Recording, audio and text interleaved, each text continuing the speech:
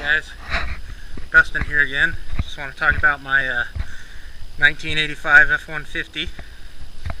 I'm in the process of fixing it up too.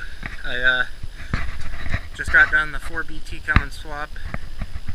Uh, it's all tuned and runs pretty good. Uh, still got a few little things to finish up. It's got a uh, high pinion 44 out of a 79. It's got a 4 inch lift, 33s. Uh, converted it to a 5 speed manual, 8 lug. It's got a Dana 60 rear with a true track locker.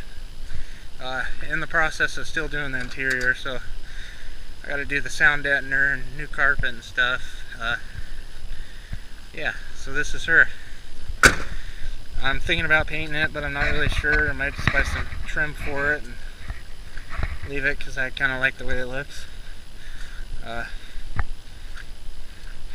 still got to get the front windshield resealed and all that, but uh, yeah, it'll be a good daily, I think.